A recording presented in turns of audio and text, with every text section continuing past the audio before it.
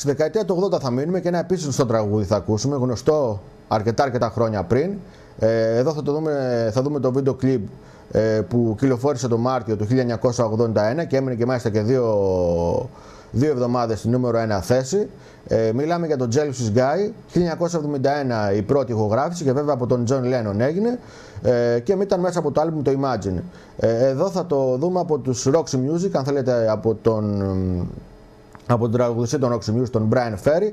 Το έβγαλε 10 χρόνια μετά το τραγούδι του John Lennon και βέβαια ένα χρόνο μετά το θάνατό του το έβγαλε. Έκανε πραγματικά μεγάλη επιτυχία όπως ήταν αυτό σίγουρο να γίνει.